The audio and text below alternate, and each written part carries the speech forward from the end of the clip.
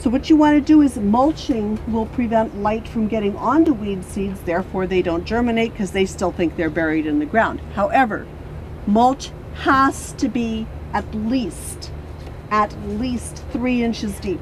It needs to be so deep that you can put your fingers all the way in before they hit the ground.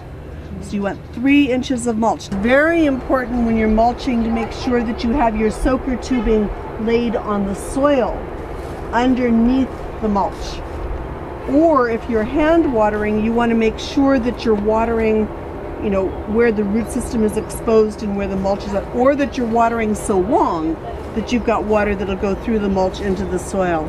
The, the soaker tubing goes down first around every plant, mulch on top of that. Disadvantage of mulching, you can't tell when something got in and chewed up the irrigation tubing